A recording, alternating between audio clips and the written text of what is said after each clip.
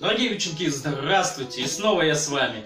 Тема сегодняшнего занятия – история появления нот. Начнем.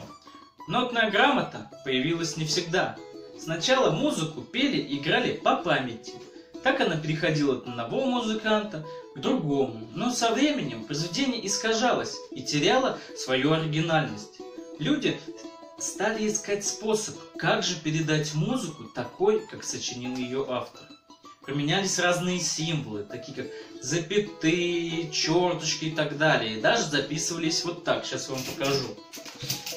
Видите, как пульсация сердца.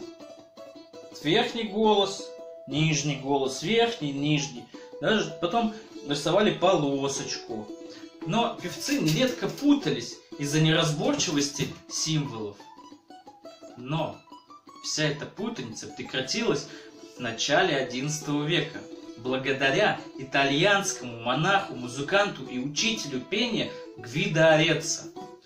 Он нарисовал линии, на которых разместились нотки.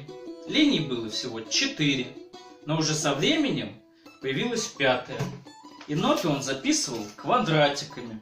Вот так вот. Ну вот. Так он и стал изобретателем современной системы нотной записи.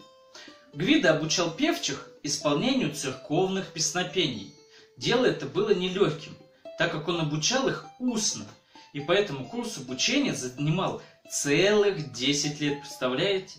Гвида начал отмечать звуки нотами, потому что нота с латинского переводится как звук. И каждый из семи нот дал название. Первое – ут, ре, ми, фа, соль, ля, си. Это первые слоги гимна святому Иоанну. Но слог «ут», первый самый, закрытый, и спеть его тяжело.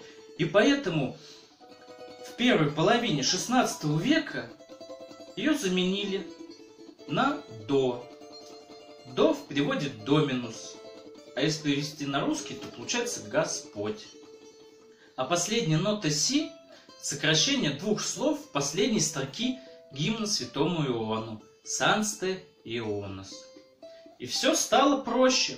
Теперь достаточно было записать нотами мессу, и певчи могли уже сами петь. И обучение сократилось с 10 лет до двух, представляете?